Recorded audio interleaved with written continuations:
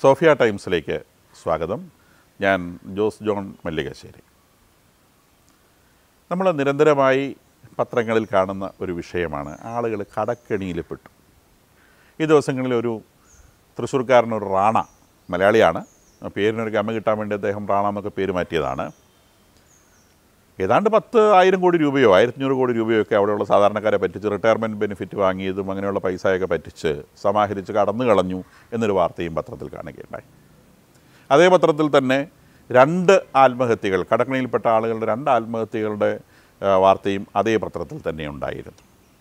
ഈ രണ്ട് വാർത്തകളും ചേർത്ത് വായിച്ചാൽ ഏകദേശം ഈ കടക്കണി എന്ന് പറയുന്ന സംഗതി എന്താണെന്ന് നമുക്ക് മനസ്സിലാവും. ഒന്നാമത് നമ്മൾ മനസ്സിലാക്കേണ്ട ഒരു ഇതാരെങ്കിലും വേദനിപ്പിക്കാനോ ഏതെങ്കിലും ഒരു വ്യക്തിയെ ഹർട്ട് ചെയ്യാനോ അല്ലെങ്കിൽ കടം വാങ്ങി തിരിച്ചടയ്ക്കാൻ ബുദ്ധിമുട്ടുന്ന ആളുകളെ വേദനിപ്പിക്കാനോ ഒന്നും അല്ല പറയുന്നത്. ഇത് കേൾക്കുന്നവരെ സംബന്ധിച്ച് നിങ്ങളിതൊരു ചിന്താവിഷയമാക്കണം എന്നുള്ള ഒരേ കാര്യത്തെക്കുറിച്ച് ഒരു കാര്യത്തെക്കുറിച്ച് മാത്രമാണ് സംസാരിക്കുന്നത്. ഇപ്പോൾ ഈ കടക്കണി എന്ന് പറയുന്ന ഒരു സംഗതി കടം വാങ്ങാൻ. ഇപ്പോൾ എനിക്ക് വരുന്ന ദിവസവും വരുന്ന ഫോണുകളിൽ ഫോൺ കോളിൽ ഏറ്റവും ചുരുങ്ങിയത് ഒരെണ്ണമെങ്കിലും ഉണ്ടാകും ബാങ്കിൽ നിന്ന് വിളിക്കുന്നത് സാറിന് വല്ലോ പിന്നെ കടവ് ആവശ്യമുണ്ടോ? ലോൺ ആവശ്യമുണ്ടോ? അപ്പോൾ ഞാൻ സാധാരണ പറയാറ് തിരിച്ചടയ്ക്കേണ്ട ആവശ്യമുള്ള പൈസയാണോ ഇത്? അപ്പോൾ അതെ തിരിച്ചടയ്ക്കേണ്ട ആവശ്യമുള്ളതാണ്. ശരി എന്നാൽ പിന്നെ എനിക്ക് വേണ്ട. അപ്പം നമ്മളുടെ കയ്യിലേക്ക് പണം തരാൻ വേണ്ടി ധനകാര്യ സ്ഥാപനങ്ങൾ അല്ലെങ്കിൽ ധനകാര്യ സ്ഥാപനങ്ങൾ നടത്തുന്ന സ്വകാര്യ വ്യക്തികൾ അങ്ങനെയുള്ളവർ തിരക്ക് പിടിച്ചുകൊണ്ടിരിക്കണം പണം നമ്മളുടെ കയ്യിൽ കൊണ്ട് ഏൽപ്പിക്കണം. അപ്പോൾ പണം ഏൽപ്പിച്ചു കഴിഞ്ഞാൽ ഒരിക്കലും പൈസ പണ്ട് നമ്മളൊരു ഒരു കൺസെപ്റ്റ് ഉണ്ട്. നമ്മൾ പിന്നെ മയിൽപ്പീലി പുസ്തകത്തിൽ വയ്ക്കുന്നു എന്നിട്ട് അത് കുറേ നാൾ കഴിയുമ്പോൾ മയിൽപ്പിലി പ്രസവിച്ചോ എന്നിങ്ങനെ നോക്കും. വാസ്തവത്തിൽ മയിൽപ്പിലി പ്രസവിക്കുന്നതല്ല മയിൽപ്പിലി മുറിഞ്ഞ് കഷ്ണങ്ങളാവുന്നതാണ്. അപ്പോൾ എന്ന് പറയുന്നത് പോലെ പണം എവിടെയെങ്കിലും എടുത്തു വെച്ചാൽ അത് മൾട്ടിപ്ലൈ ചെയ്യുന്ന യാതൊരു ടെക്നിക്കും ഇതുവരെ ലോകത്തിൽ ആരും കണ്ടുപിടിച്ചിട്ടില്ല. നമ്മൾ ആയിരം രൂപയോ പതിനായിരം രൂപയോ ഒരു ലക്ഷം രൂപയോ എടുത്ത് പെട്ടിക്കകത്ത് വെച്ച് കഴിഞ്ഞാൽ അത് പിന്നെ നീലക്കൊടുവയിൽ എന്നൊക്കെ പറയുന്ന ഒരു ഒരു സാധനം ഉണ്ടല്ലോ നമ്മൾ പണ്ട് കഥകളിൽ കേട്ടിട്ടുള്ള സംഗതി. അത് വെച്ച് കഴിഞ്ഞാൽ പിറ്റേ ദിവസം ഇരട്ടിയാവും. പിന്നെ അത് അത് കഴിഞ്ഞ ദിവസം ഇരട്ടി രണ്ടും കൂടെ ചേർന്ന് വീണ്ടും ഇരട്ടിയാവും. മൂന്നാമത്തെ ദിവസം എല്ലാം കൂടെ ചേർന്ന് വീണ്ടും ഇരട്ടിയാവും. അങ്ങനെ ഇരട്ടിയായി ഇരട്ടിയായി കൂടി വരും എന്നൊക്കെ പറയുന്ന മനോഹരമായ മനുഷ്യ സങ്കല്പങ്ങളുണ്ടല്ലോ. അത്തരം മനുഷ്യ സങ്കല്പങ്ങൾ ലോകത്തിലൊരിക്കലും സംഭവിക്കുന്ന കാര്യമല്ല. പണം വർദ്ധിക്കണമെങ്കിൽ ആ പണം കൊണ്ട് നമ്മൾ എന്തെങ്കിലും ഒരു സംഗതി ചെയ്യുകയും ഒരു പ്രവൃത്തി ചെയ്യുക പണം ഉപയോഗിച്ച് നിങ്ങൾ പ്രവൃത്തി ചെയ്യുകയും ആ പ്രവൃത്തിയുടെ ഫലം തിരിച്ചു വരുമ്പോൾ ആ പണവും അതിന്റെ പലിശയും അതിന്റെ കൂടെ അതിന്റെ ലാഭവും ഉണ്ടാവുകയും ചെയ്യണം. ആ സാഹചര്യത്തിൽ മാത്രമേ പണം വർദ്ധിച്ചു വരികയുള്ളൂ. നേരെ മറിച്ച് കടമെടുത്ത് വീട് പണിതാൽ വീട് നമുക്കൊന്നും തരില്ല ഇങ്ങോട്ട്. വീടിനകത്തൊരു സാധനം കിട്ടിയില്ല. അപ്പോൾ നമ്മൾ വീട് പണിയാൻ വേണ്ടി പൈസ കടമെടുക്കുന്നുണ്ടെങ്കിൽ ആ കടമെടുക്കുന്ന സമയത്ത് ഇതെങ്ങനെ തിരിച്ചടയ്ക്കും എന്നതിനെ സംബന്ധിച്ച് കൃത്യമായ ധാരണയുണ്ടായിരിക്കണം. പണം കടവെടുത്ത് കാറ് വാങ്ങിക്കുന്നു ബൈക്ക് വാങ്ങിക്കുന്നു. ബൈക്കും കാറും ഒക്കെ പെട്രോൾ അടിക്കുന്ന സമയത്തും വർക്ക്ഷോപ്പ് പോകുന്ന സമയത്തും പണം തിന്നുക എന്നല്ലാതെ അഞ്ച് പൈസ പോലും ഈ സാധനം തിരിച്ചും കൊണ്ട് തരികയാണ്. നേരെ മറിച്ച് ടാക്സി ഓടിക്കാൻ വേണ്ടി നമ്മളൊരു വാഹനത്തിന് ലോൺ എടുക്കുകയാണെങ്കിൽ അതിനകത്തൊരു കാര്യമുണ്ട്. കാരണം നിങ്ങൾ ടാക്സി ഓടിച്ചു കഴിഞ്ഞാൽ നിങ്ങൾക്ക് അതിനകത്ത് പണം കിട്ടും. ആ പണം കൊണ്ട് നിങ്ങൾക്ക് തിരിച്ചടയ്ക്കാൻ പറ്റും. ഒരു ഷോപ്പ് നടത്താൻ വേണ്ടി നമ്മൾ ലോൺ എടുത്താൽ അതിനകത്തൊരു കാര്യമുണ്ട്. ആ ഷോപ്പ് നല്ലതുപോലെ നമ്മൾ നടത്തുകയാണെങ്കിൽ അതിനകത്ത് നമുക്ക് റിട്ടേൺസ് കിട്ടും നമുക്ക് തിരിച്ചടയ്ക്കാൻ പറ്റും.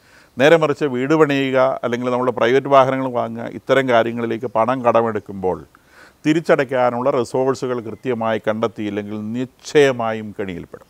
ഇത് സാമാന്യ ബുദ്ധിയുള്ള ആർക്കും മനസ്സിലാകുന്ന കാര്യമാണ്. അപ്പോൾ ബാങ്കിൽ ചെന്ന് ഞാനൊരു വീട് പണിയാൻ വേണ്ടി അഞ്ച് ലക്ഷം രൂപ അല്ലെ പത്ത് ലക്ഷം രൂപ ലോൺ എടുക്കുന്നു.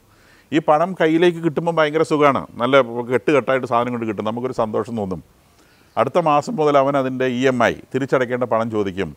ഈ മാസത്തെ ഇരുപതിനായിരം രൂപയും ഇങ്ങോട്ട് താ ഈ മാസത്തെ ഇരുപതിനായിരം രൂപ നമുക്ക് വരുമാനമില്ല? എങ്ങനെ തിരിച്ചടയ്ക്കാൻ പറ്റും? വീട്ടു ചിലവുകൾ നടക്കണം. വീട്ടിൽ കുട്ടികൾ പഠിക്കുന്നുണ്ടെങ്കിൽ അവരുടെ കാര്യങ്ങൾ നടത്തണം. ആളുകൾക്ക് അത്യാവശ്യം വസ്ത്രങ്ങൾ വാങ്ങിക്കണം. ഇത്തരം കാര്യങ്ങളെല്ലാം കഴിഞ്ഞിട്ട് ഈ പറഞ്ഞ പണം നമുക്ക് കണ്ടെത്താൻ കഴിയാതെ പോകുന്നു. തിരിച്ചടയ്ക്കാതിരിക്കുന്നത് ധനകാര്യ സ്ഥാപനങ്ങളെ സംബന്ധിച്ച് വലിയ സന്തോഷമാണ്. കാരണം നോർമലായിട്ട് തിരിച്ചടച്ച് പോവുകയാണെങ്കിൽ അതിന് നോർമലായിട്ടുള്ള പലിശയെ വരൂ.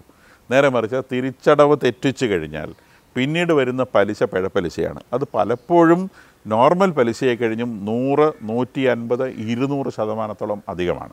അപ്പോൾ നമ്മൾ എയ്റ്റ് പെർസെന്റാണ് ലോൺ എടുത്തിട്ടുള്ളതെങ്കിൽ ഒരു അടവ് തെറ്റിച്ച് കഴിഞ്ഞാൽ എയ്റ്റ് പെർസെന്റ് എന്നുള്ളത് ട്വന്റി പെർസെന്റ് ആയിട്ട് കൂടും. വലിയ വ്യത്യാസം വരും. അപ്പോൾ ഇതിനകത്ത് നിന്ന് ഈ ഡെപ്റ്റ് ട്രാപ്പിൽ നിന്ന് കടക്കണിയിൽ നിന്ന് പുറത്ത് കിടക്കാൻ പറ്റാത്ത സാഹചര്യം വരും. അപ്പോൾ പലപ്പോഴും ആളുകൾ വളരെ സിമ്പിൾ വളരെ ഈസി ആയിട്ടാണ് കടമെടുക്കുന്നതിനെക്കുറിച്ച് ചിന്തിക്കുക. അത് തിരിച്ചടയ്ക്കുന്നത് എങ്ങനെയെന്നുള്ളതിനെക്കുറിച്ച് ആലോചിക്കില്ല. പണം തന്നവനെ സംബന്ധിച്ച് മിക്കവാറും പണം പണം ബിസിനസ് നടത്തുന്ന ആളുകളെല്ലാവരും ഷൈലോക്കുമാരാണ്. ഷൈലോക്ക് എന്ന് പറഞ്ഞാൽ അറിയാലോ നമ്മൾ പഴയ കഥയിൽ പഠിച്ചിട്ടുള്ളതാണ്. പണം തിരിച്ചു കിട്ടാൻ വേണ്ടി ഇറച്ചി മുറിച്ച് വാങ്ങിക്കുന്ന ടൈപ്പ് ആളുകളാണ്.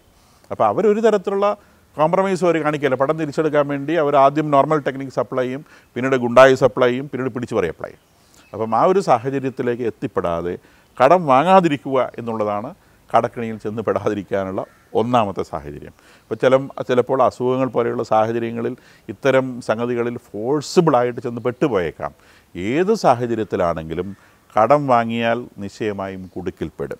അപ്പോൾ കടമെടുക്കുന്ന സമയത്ത് എന്തിനു വേണ്ടി കടമെടുക്കുന്നത് റീപ്രൊഡ്യൂസിബിൾ അല്ലാത്തൊരു കാര്യത്തിന് വേണ്ടി ഒരു കാരണവശാലും കടം വാങ്ങാതിരിക്കുക എന്നുള്ളതാണ് ഡെപ്റ്റ് ട്രാപ്പിൽ ചെന്ന് പെടാതിരിക്കാനുള്ള ഒന്നാമത്തെ പാഠം. രണ്ടാമത്തെ പാഠം ഈ റാണയെ പോലുള്ള ആളുകളുടെ കയ്യിൽ എങ്ങനെ എത്തിപ്പെടുന്നു? സി സാധാരണ ഇന്നിപ്പോൾ ഒരു ബാങ്കിൽ കൊണ്ട് പൈസ പൈസ ഇടുകയാണ് നിങ്ങൾക്ക് കിട്ടാൻ പോകുന്ന ഇൻട്രസ്റ്റ് റേറ്റ് എന്ന് പറയുന്നത് അഞ്ച് മാക്സിമം ആറ് ശതമാനം. അതിനപ്പുറത്തേക്ക് ഇൻട്രസ്റ്റ് റേറ്റ് ഒരു ബാങ്കിലും ഇല്ല. വളരെ തുച്ഛമായിട്ടുള്ള ഇൻട്രസ്റ്റ് റേറ്റാണ് നമുക്കറിയാം. അത് ബാങ്കുകൾ അത്തരത്തിൽ ഒരു ഇൻട്രസ്റ്റ് റേറ്റ് വെച്ചിരിക്കുന്നത് പണം ഐഡിലാക്കി വെക്കാതെ എന്തെങ്കിലും റീപ്രൊഡ്യൂസിബിൾ ആയിട്ടുള്ള കാര്യങ്ങളിൽ മുടക്കി നമ്മളുടെ പ്രവൃത്തികൾ കൂടി അതിനോട് ചേർത്ത് കൂടുതൽ മെച്ചപ്പെട്ട വരുമാനം ഉണ്ടാക്കുക എന്നുള്ളതാണ് ഈ പലിശ കുറഞ്ഞിരിക്കുന്നതിന്റെ ഒരു സംഗതി. പണം ഐഡിലാക്കി വെക്കാതിരിക്കുക. പണം റീപ്രൊഡ്യൂസിബിൾ ആയിട്ടുള്ള കാര്യങ്ങളിൽ മുടക്കി എന്തെങ്കിലും കാര്യങ്ങൾ ചെയ്യുക. അതിനനുസരിച്ച് ലോണിൻ റേറ്റ് കുറയുന്നുണ്ട്. അതൊക്കെ സാമ്പത്തിക കാര്യങ്ങളാണ്. ധനശാസ്ത്രമാണ് ഞാൻ അതിൽ കിടക്കുന്നില്ല. അപ്പോൾ ഇവിടെ ഈ റാണയെ പോലുള്ള ആളുകൾ എടുക്കുന്ന ടെക്നിക്ക് എന്താണെന്ന് വെച്ചാൽ മുപ്പത് ശതമാനം പലിശ തരാം. മുപ്പത്തഞ്ച് ശതമാനം പലിശ തരാം. ഇത്തരം ഒരു പ്രോമിസ് വരുമ്പോൾ തന്നെ അതിനകത്ത് കെണി മനസ്സിലാണ് വെറുതെ ആരും ആർക്കും പണം കൊടുക്കില്ല. എന്റെ ഒരു പരിചയക്കാരൻ ഒരിക്കൽ ബാംഗ്ലൂരിൽ തന്നെ വിളിച്ച് ചോദിച്ചു സാറേ സുഹൃത്തെ എനിക്കൊരു ഓഫർ വന്നിട്ടുണ്ട്. ഓഫർ ഇതാണ്. നിങ്ങളുടെ അക്കൗണ്ടിലേക്ക് ആയിരം കോടി രൂപ ട്രാൻസ്ഫർ ചെയ്യാം. ആഫ്രിക്കയിൽ നിന്നാണ് ആയിരം കോടി രൂപ ട്രാൻസ്ഫർ ചെയ്യാം. ആ ആയിരം കോടി രൂപയിൽ എൺപത് ശതമാനം ഞങ്ങൾ പറയുന്ന ആളുകൾക്ക് നിങ്ങൾ ട്രാൻസ്ഫർ ചെയ്യണം. ദാറ്റ് മീൻസ് എണ്ണൂറ് കോടി. ബാക്കി ഇരുന്നൂറ് കോടി രൂപ നിങ്ങൾക്ക് എടുക്കാം. ഇതാണ് ഓഫർ അപ്പോൾ ഇദ്ദേഹം എന്നെ വിളിച്ച് ചോദിച്ചു ഇങ്ങനൊരു കാര്യമുണ്ട്. ഞാൻ പറഞ്ഞു ഒരു കാരണവശാലും ആ മെയിലിന് റെസ്പോണ്ട് ചെയ്യരുത്. ആ മെയിൽ കട്ട് ചെയ്ത് കളയാം. അങ്ങനെ ഒരു കാര്യം ആരും ചെയ്യില്ല. ഫ്രീ ആയിട്ട് ആരും പൈസ തരികയില്ല. അത് മനസ്സിലാക്കുക. അദ്ദേഹം വീണ്ടും അത് കേട്ടിട്ട് അദ്ദേഹത്തിന് ഇരിക്കപ്പുറത്ത് കിട്ടിയില്ല. ഇരിക്കപ്പുറത്ത് കിട്ടാഞ്ഞിട്ട് അദ്ദേഹം അതിന് റെസ്പോണ്ട് ചെയ്തു. റെസ്പോണ്ട് ചെയ്ത് കഴിഞ്ഞപ്പോൾ അദ്ദേഹത്തിന് വന്ന ഒരു മറുപടി ഇതാണ്. നിങ്ങളുടെ പേരിൽ ഒരു അക്കൗണ്ട് തുടങ്ങാൻ വേണ്ടി പത്ത് ലക്ഷം രൂപ ഉടനെ ഞാൻ അയച്ചു തരണം നിങ്ങളുടെ പേരിൽ അക്കൗണ്ട് തുടങ്ങി പത്ത് ലക്ഷം രൂപയ്ക്ക് ഒരു അക്കൗണ്ട് തുടങ്ങിയിട്ട് വേണം ഈ ആയിരം കോടി നിങ്ങളുടെയിലേക്ക് ട്രാൻസ്ഫർ ചെയ്യാൻ പിന്നീട്.